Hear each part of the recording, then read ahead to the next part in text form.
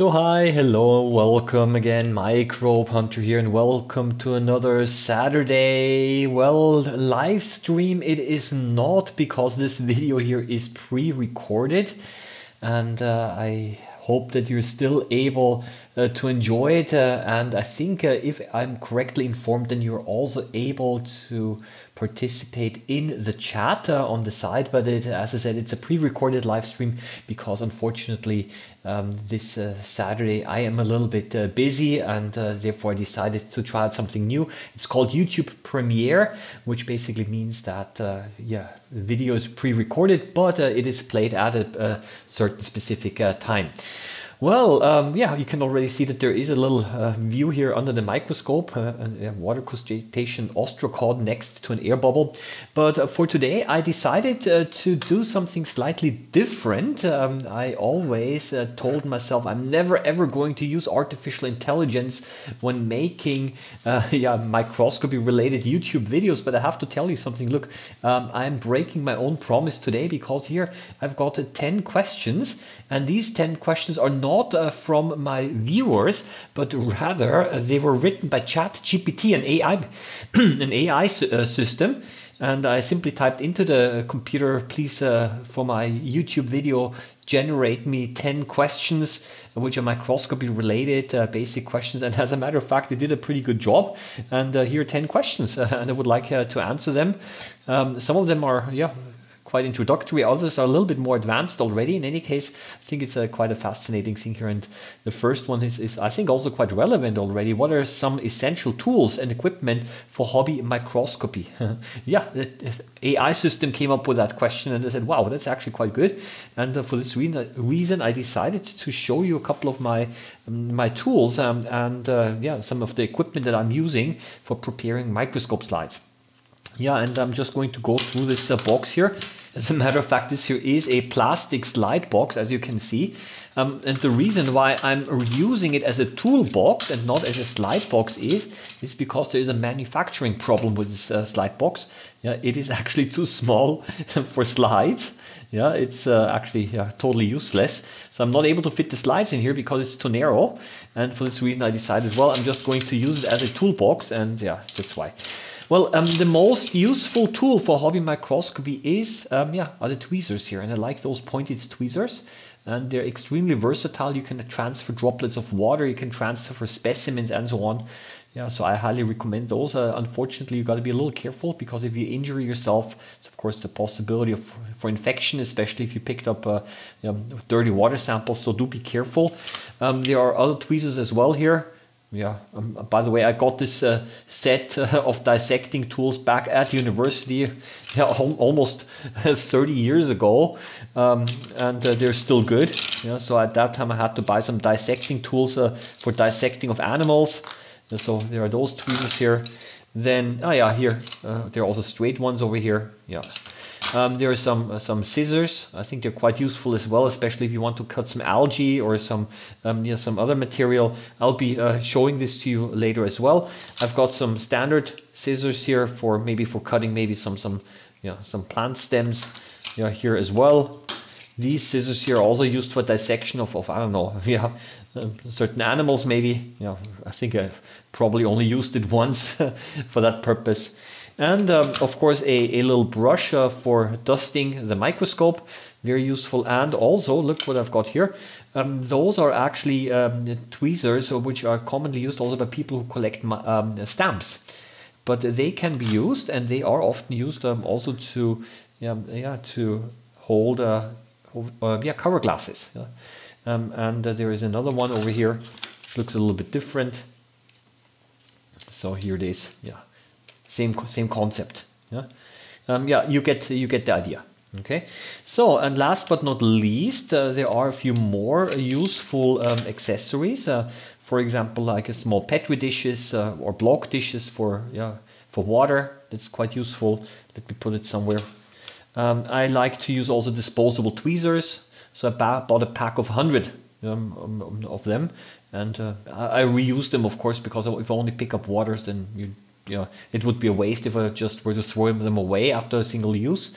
And uh, another thing that's uh, quite useful um, are razor blades, and I 3D printed now the, you know, the, the, the, the handle here. Uh, for protection and uh, these razor blades are of course useful for making very thin cuts and if you do not have a 3D printer for making these things then I suggest that you cover one edge with with some tape yeah, so that you don't hurt yourself yeah um, yeah, of course, uh, there are also other slightly more advanced tools. I do not say that you have to have those, but I consider them quite useful. Uh, these are so-called microliter pipettes. So this one goes from uh, 5 to 50 microliters and I can adjust the volume by turning yeah, by turning uh, yeah, this, this thing here in the back. I also have other one, another one over there somewhere. Yes, here it is. This one is uh, um, a one milliliter um, yeah, pipette. Um, yeah, I don't have the tips now, um, but I think that the volume uh, is a little bit too much here. Yeah, I, I, found it a little bit too much, and I consider those uh, ones uh, also quite useful because you're actually, the, if you're very careful, um, able to pick up individual microorganisms with this. Yeah, of course you're also going to suck in a lot of water, but it is possible, and I have already picked out individual um, yeah cells uh, uh this way. Um, yeah, it does take still a lot of patience, but it does work. Well, maybe not individual cells, but uh, I've actually um, uh, uh, pulled out uh, some face mites uh, from from a microscope slide. Yeah, so this is uh, quite useful, and um, and by pressing this button here in the back, what happens is, is that you kind of throwing off the tip, and then you can can use again new tips. And I got a, a box here, yeah, where you can essentially yeah store your tips, but those tips are also sold in, in, in quite uh, large amounts as well in ba plastic bags. So I, I, I, consider this quite nice uh, yeah, and useful, very convenient, looks looks nice as well. Yeah. So um, yeah, so these are some some some of the tools that I'm using, um, and uh, of course I also have uh, over here. Uh, yeah, look at this here. Um, yeah, also for cleaning the microscope a little bit. Yeah, here. Yeah um, yeah, you, you get the idea. Of course, I also have microscope slides and cover glasses. Yeah, so but these are the essential tools, and uh, for for making um, slides, I think uh, this is uh, perfectly okay. Yeah. So yeah, so this was actually the, the, the, first one. Let, just let's have a look how let's have a look how my um, my sample is doing here. So let's uh, start uh, to have a look at the second question here. Can you share some tips for preparing microscope slides at home? And I have to tell you, well, that's a very huge and large question really depends a lot on which type of slides you want to make, permanent slides or temporary slides. So I think maybe maybe we're just going to make a, a permanent slide now, um, and then maybe you can pick along some tips, uh, yeah, as I show them uh, to you. Um, well, but one tip uh, that I do have is, is, is, make sure that the mounting medium that you use is uh, more or less compatible uh, to the specimen. So, and what I've got here is, is I've got, of course, some microscope slide, a microscope slide here. I do have a, a, a cover glass. Uh, I'm going to dry wipe it because um, I want it to be free of, of grease. Yeah. And uh, what I would like to do is, is uh, I would like to uh, make now a yeah permanent mount um, of some. Look what I've got here. These are catkins. Yeah. And I would like to yeah. It looks uh, quite a little bit uh, furry here and uh, so I think maybe I'm just going to cut off uh, some of these uh, this uh, these hair here and make a permanent mount. Um, and uh, in order to do that um, I need uh, yeah to have my scissors. And these are the scissors that I just showed you a couple of minutes ago here. Uh, I'm gonna use the pointed ones. And um, I also have uh, prepared, I just don't know where I put the bottle. Ah, here it is. Yeah, that's a mounting medium. And uh, the mounting medium that I'll be using is a, yeah, um, a, a one that is water-based. And It's called Elmer's PVA glue. And it's actually not a, an official mounting medium, but it is as a glue. Um, and uh, that's how it looks like. It's school glue. It's a clear glue non-poisonous, uh, completely water-based. And what I've done is, is I filled some of it over into this bottle here and added a little bit of water to dilute it down to make it a little bit thinner. And this is actually a, a surprisingly good mounting medium for general purpose. So I highly recommend it if you um, just want to experiment around a little bit with microscopy. Yeah, and if you mm, want to make some, some slides, let's move everything else over here. Some slides that, yeah, you would like, uh, that don't have any specific uh, advanced requirements. You just might as well use uh, this mounting medium here. Um, so I'm just going to place a drop on the microscope slide here. Okay. And uh, if it's too much, if it's too much, then um, of course I would recommend that you then remove uh, a little bit uh, later on after it's dried. So then over here the catkin and some scissors and uh, let's try to cut off some of those here here.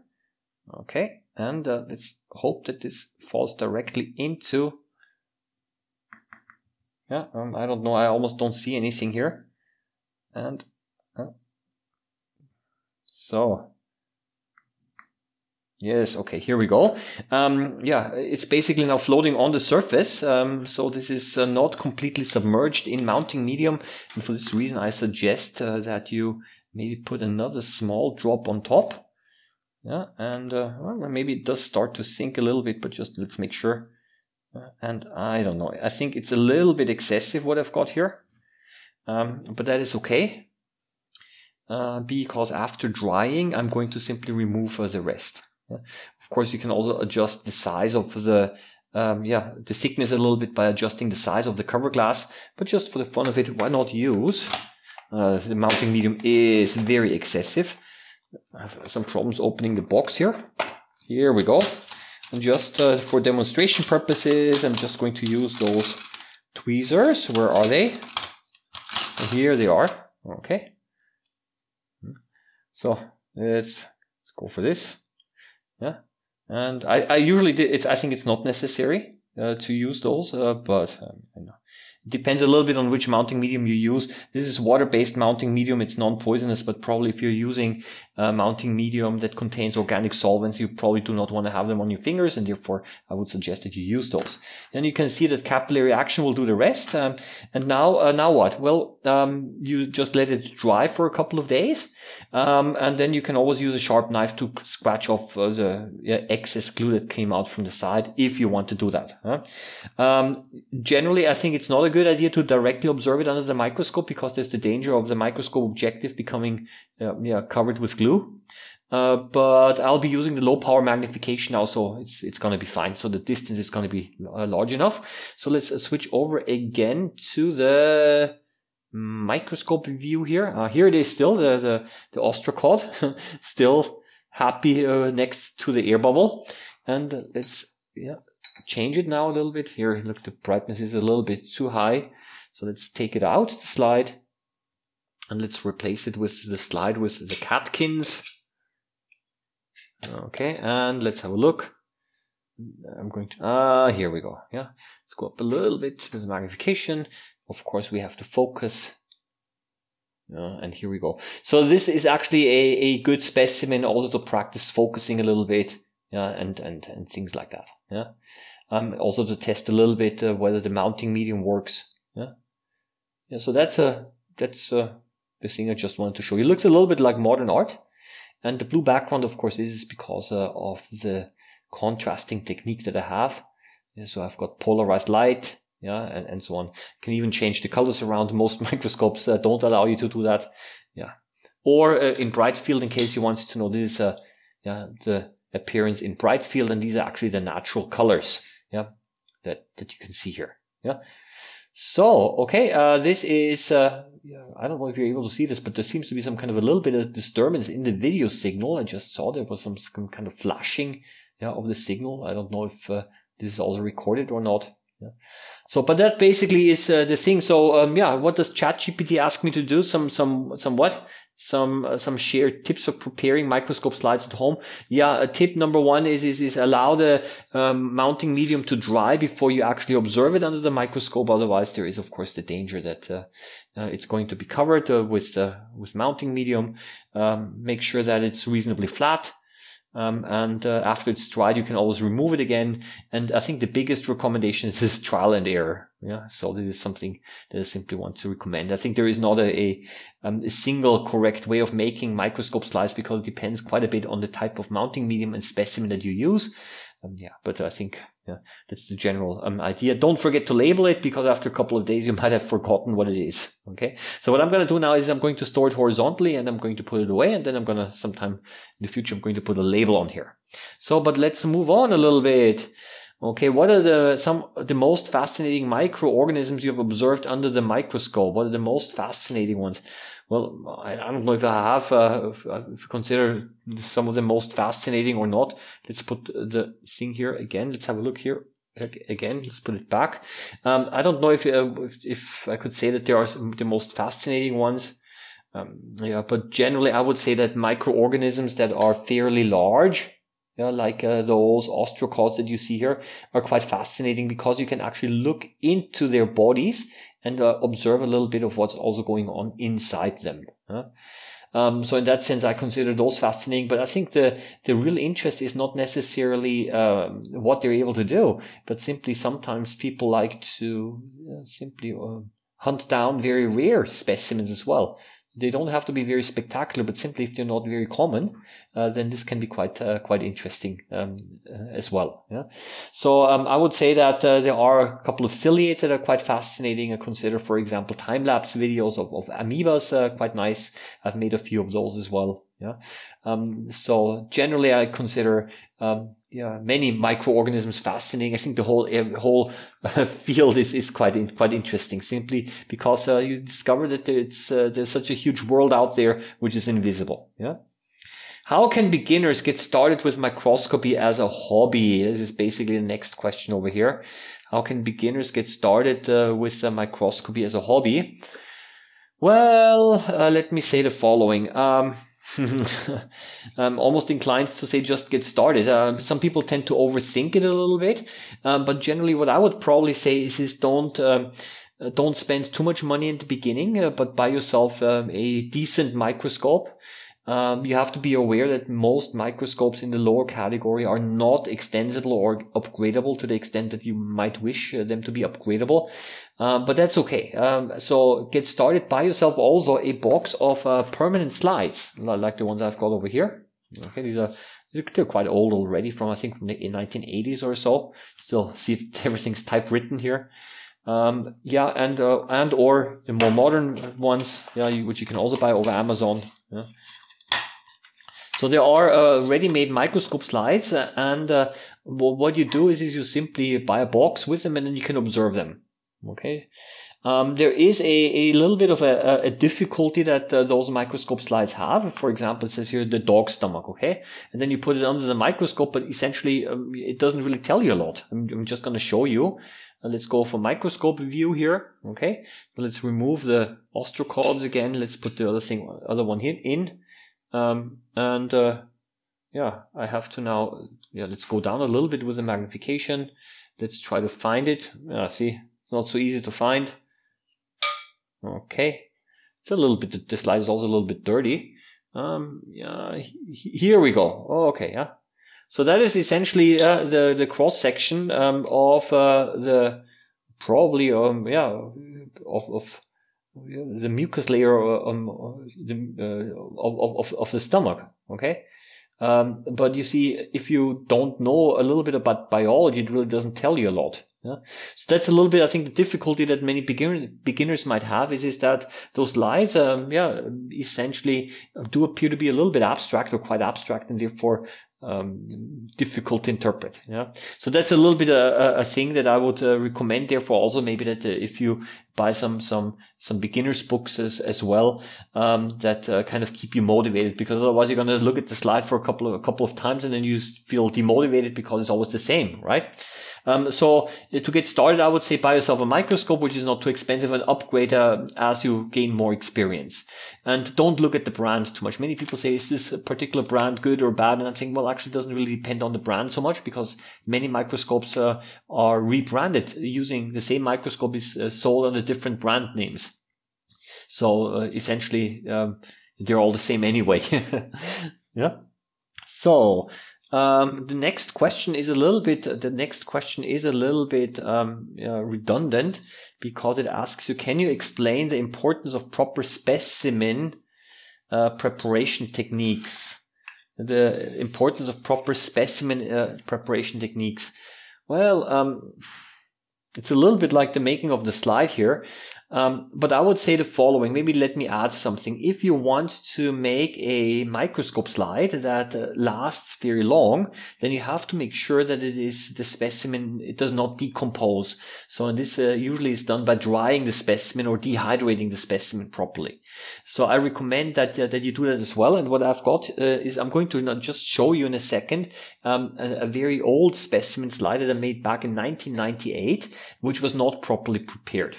Yeah, this is uh, the slide um, of an insect, 1998. I used Eukitt uh, mounting medium, which is a resin-based mounting medium, and the insect, uh, yeah, was not properly prepared. I simply dropped it into the mounting medium, so it was not dehydrated. It was still moist, and of course, uh, decomposition can happen. So I just want to show you a little bit uh, how, um, yeah, how it looks like. So let's me let me quickly remove the other slide here and let's put the insect one in here. I don't know which insect it is. I have to tell you. Let's put the other slide back here. And uh, here it is, okay? Um, yeah, here is the head. You can see the antenna, of course, but it's not a very nice looking specimen really. Yeah? And uh, yeah, you can see all of those dark areas that you see here. These are actually bubbles, uh, air bubbles. And uh, what could be is this could not just be air that's caught in there, but maybe it could be also gases formed by decomposition, so-called decomposition gases. And you can see over here, yeah, got squeezed and something ran out of the insect. So a badly prepared specimen, um, yeah, but it's uh, already quite old anyway, and uh, still good for showing you how probably not to do it. It was actually one of my first specimens that I prepared. Yeah? But still, yeah. Just wanted to to to share this with you. Um, that um, the proper preparation technique um, includes dehydration in alcohol, um, and then uh, properly mounting it. But again, the specific technique depends quite highly on the type of specimen that you're preparing. Yeah. So, um, and if you want to prepare animal tissues, then it's, it's becoming more complex uh, yet because you also have to use a microtome to kind of cut it into thin sections. And it's an entirely different, different story again. Yeah. So let's have a look here again into the desk view. Are there any do-it-yourself staining methods for enhancing microscopic observations? Yeah, there are.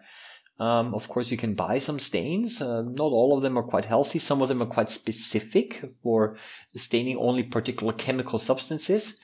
Um, but there is uh, a general purpose stain that I would recommend. It's called methylene blue. But but if you have problems obtaining that, you can also use fountain pen ink. And I would like to show that uh, to you now. So I would like to prepare now a specimen using yeah, regular ink. Okay, you might also want to try it out uh, because maybe there might be different types of ink around as well. And what you need is you need, um, yeah, here um, a little uh, a little petri dish, and I added a little bit of water already, just a couple of drops of water. And uh, what you need is you need a, a fountain pen cartridge, like I have over here.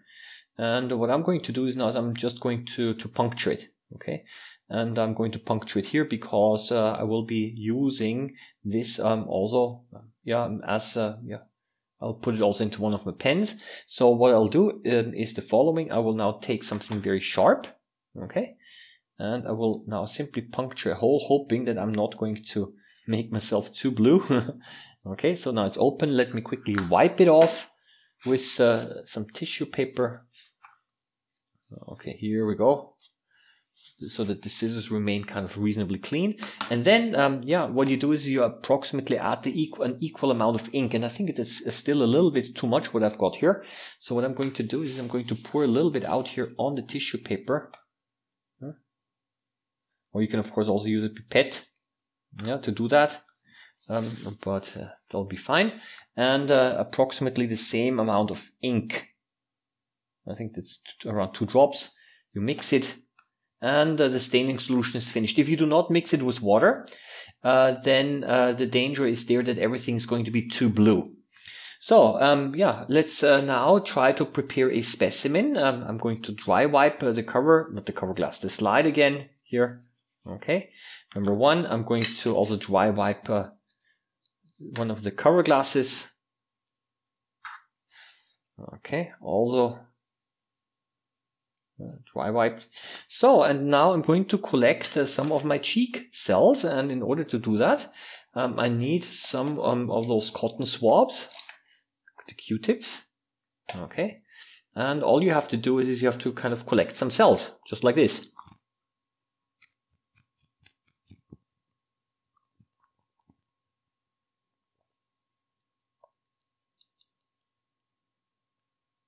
Okay. So it's almost like brushing your teeth. and uh, what I'm doing right now is I'm carefully spreading the cells here on the slide. And you can actually see that there is some stuff on there. Um, and uh, this also breaks the cells apart a little bit, a little bit, and uh, um, otherwise they're going to be too large clusters.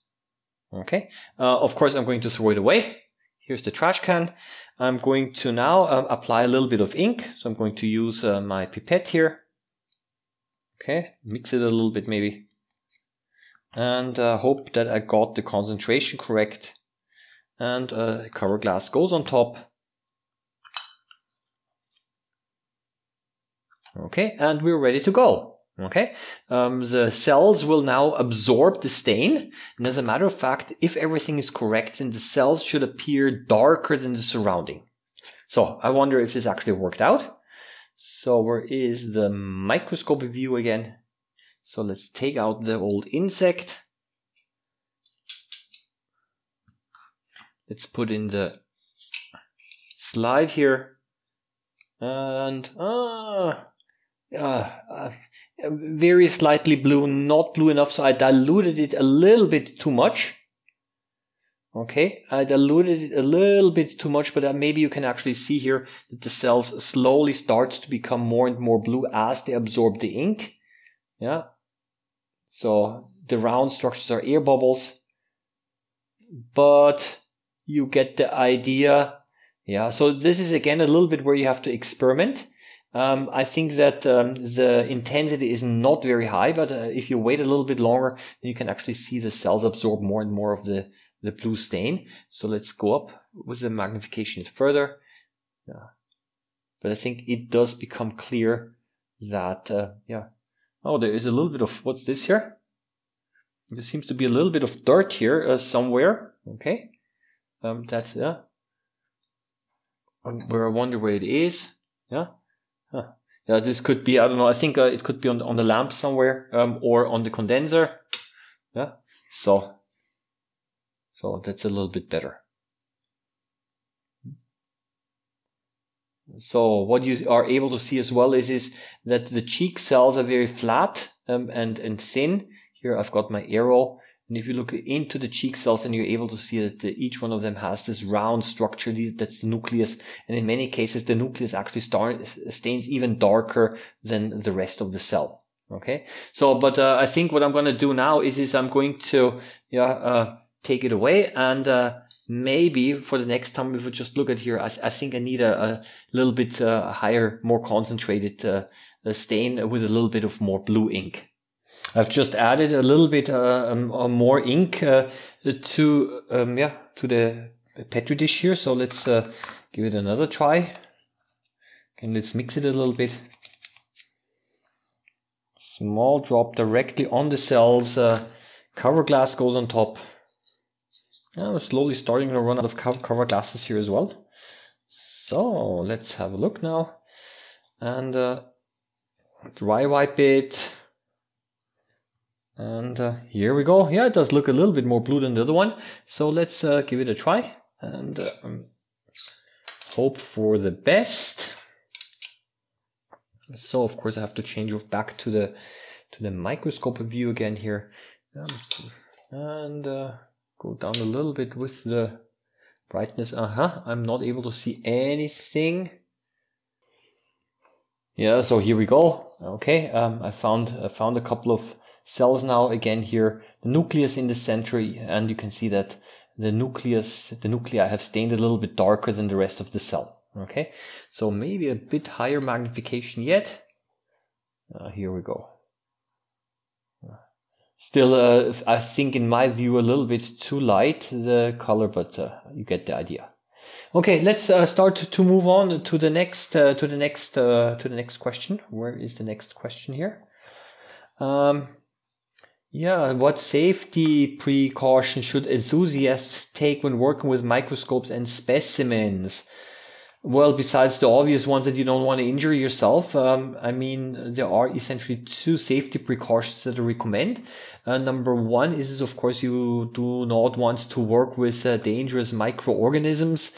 Uh, specifically, certain bacteria are a little bit problematic uh, if, if you don't uh, know what they are and if you grow them at high concentrations um, then this can basically be a source of infection if you hurt yourself. Okay, so this is something there that I would recommend that you do not uh, make so-called hay infusions, which are quite or were quite popular in the past. Um, and uh, they generally grow bacteria to very high concentrations, not something to be recommended with.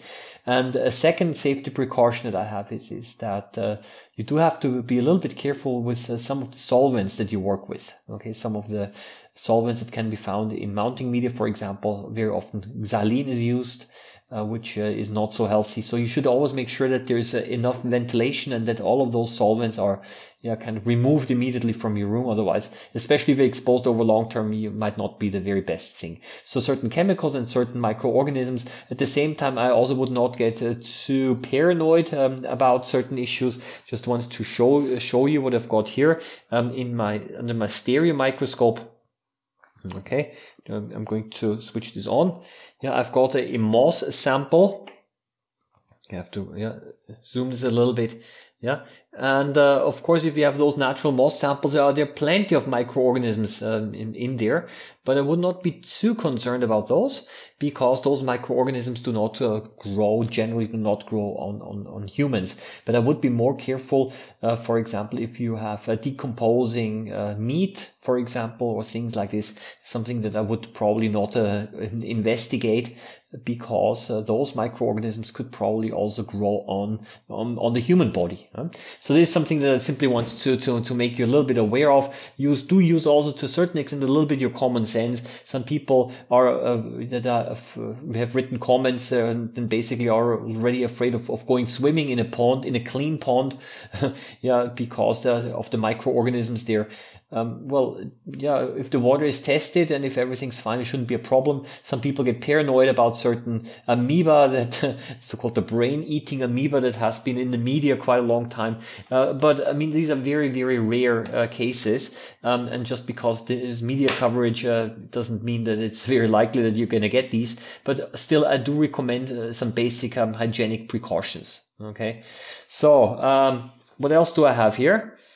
Um, how do you choose the right microscope for different types of specimens and observations? It's, I think it's a very uh, general question here because there are so many different type of microscopes around. And I can just uh, talk a little bit uh, maybe about the, the in, in, research, uh, what we've, uh, how the situation is going on in research.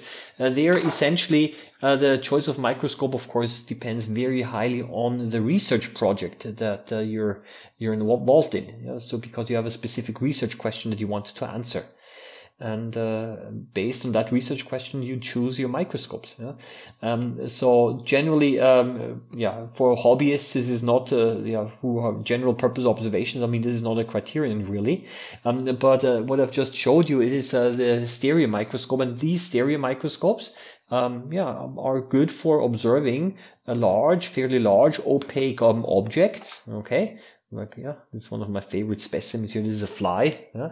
large fairly large opaque objects um, and uh, they, these uh, do not require preparation okay um, and uh, if this is what you want to observe then you need a stereo microscope um, and if you want to um, observe the much smaller um, yeah microorganisms, then of course you need a compound microscope. Yeah? So again, the requirements that hobbyists have is of course different than the ones that are, are using microscopes in research or forensics or, or whatever, right? Um, so essentially these are just the type of microscopes and as i already mentioned before uh, people want to know which brand to buy um, I would say here it depends really much more on the individual microscope than on the brand. and the, I mean, I can just tell you what I've got here is, is the stereo microscope that I've got here uh, with where I'm looking at the flight. It's a euromex stereo microscope. It's called the Euromex Nexius Zoom. Very nice microscope. And the other microscope, the compound one that I have is an Olympus microscope. Yeah. So just, uh, just saying in case you're interested. And it's kind of, kind of nice because you're able to see the compound eyes here of, of, of this fly. Yeah. Um, number nine. can you recommend a beginner friendly books uh, or online resources uh, for learning more about microscopy? I do have a few books. Actually, I have over 10 books, 10, 15 books. Impossible for me to show them to you, but I just have selected a few of them just in case uh, you want to know. Uh, unfortunately, uh, some of the books are in German, and I found that there are many more books in German about microscopy than in the English language, which I think is kind of interesting. But I've got, oop, heavy, heavy, heavy, heavy several books here, okay, that I would like to show you. So always make sure that you remove all of the specimens, the stains, uh, otherwise, yeah, books might become a little bit uh, contaminated. And so let's uh, start off with an English uh, book here, a complete book of the microscope. I, I do not always want to show you the contents because of copyright reasons. Uh, but this book here is um, actually mostly um, about microscopic specimens, not so much about how to use the microscope. Yeah? So it contains also many, um, yeah, uh, many electron micrographs, uh, graphic images, visually very impressive. Um, certainly a book uh, to read, um, but it is not targeted so much for the hobby microscopist because simply there are um, yeah too few practical it's not a practical book. It's just more about the things that you are able to see under the microscope. Again with uh, is also a strong focus on electron microscopy which is not accessible to many many uh, hobbyists. Okay? So that is uh, the, the, the the book uh, that uh, number one.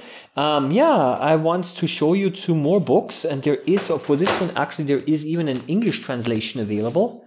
Uh, it's from the back from the 90s werner nachtigall. He is uh, yeah the person who is in charge, uh, who was not in charge, who's written the book. Um, so if you Google him, uh, for him, then you actually might be able to find uh, also the English translation. A very good book um, for hobby microscopists. Uh, talks about specimen preparation, different types of microscopes, things that you can observe. Very colorful. Okay. Um, yeah, it is from the 90s, uh, but still microscopy does not become outdated uh, so quickly. So a very useful resource as well. So if you want to go a little bit more technical, or if you want to go more advanced, rather, the, the yeah the big book about microscopy here. This here is a, huge one, um, and this one is uh, interesting because it does link uh, um, specimen preparation also with a lot of theory about biology. So it, it's actually a, a fairly um, comprehensive book. Yeah, um, print is, is kind of small even. Yeah, lots of information and uh, um, yeah highly recommended as well. But of course, it's in German. I don't know if an English translation is already available or not. Yeah, uh, but it gives you also a lot of biological background. Here. Yeah, that's that's called plant, plant cross section here. And then um, two books that I or one book that I can recommend, even if it is in German, and if you, even if you do not speak German, I recommend it. I've got an old and a new edition here. So this here is the old edition. It's Life in the Droplet of Water. And this is the new edition here. It's a little bit larger and thicker. And this is an identification book. So it contains a thousand, so yeah, what, 1,500 drawings. Yeah. Um, and uh, you are able to simply, when you see something under the microscope, you can try to find the drawing and then you know what it's called. Um, so it's one page is always a description of the specimens and the other page has the drawings. There's of course also some some general theory, um, yeah, in, in, here, yeah, um, um, as well. And uh, if you want to look at the first pages, then I think in on, on Amazon there are even also some um, available some uh, a preview is available as well okay? But not of the main part where it's actually about the identification huh? and if you uh, once you've got the name then you can always google it and you can op- obtain more information as well. Highly recommended uh, and again if you don't speak german you still uh, um, it's still useful because it's mostly based on drawings okay? And uh, yeah therefore for um, identification of water microorganisms i think it's it's a mandatory book and this here is the the old the older uh, edition. Okay, so let's uh, let's do move on a little bit now. Um, again, um, can you recommend any beginner? Fr- oh, I talked about that. What's the most uh, memorable discovery you've made uh, through your hobby microscopy? this is. Uh, yes, I do have a memorable um, discovery, and that it has nothing to do with uh, the observations uh, that I've made. But uh, for months, I basically was surprised why my image quality and the colors of a microscope were not quite as good as uh, I hoped them to be. And it was an adjustment problem. So I was using the microscope maybe already a year or something like that. And then I discovered that I had to readjust something to improve the image quality and I completely overlooked that. Why did overlook that because I did not read the instruction manual. I thought I knew it better, and, and then all of a sudden I had uh, yeah many more colors um, and, and, things like this. It was simply not adjusted properly. Yeah? And uh, for me, this was actually the most memorable discovery that uh, yeah sometimes it is worth uh, to read the instruction manual um, uh, as well. And uh, concerning the things that I observed under the microscope, um, I would not say that there's one memorable discovery, but of course you're setting yourself certain targets. I remember a long time ago, the first time when I've seen uh, tardigrades under the microscope or certain uh, worms uh, and so on. Uh, these are quite nice experiences. And um, one of the things that I um, was a little bit surprised of is, is that uh, um, simply putting onion cells under the microscope, sometimes uh, they can be extremely interesting as well, because I could see actually on the time lapse the movement of vesicles, of the vesicles. Vesicles are little cell organelles that are important for transporting substances inside a cell.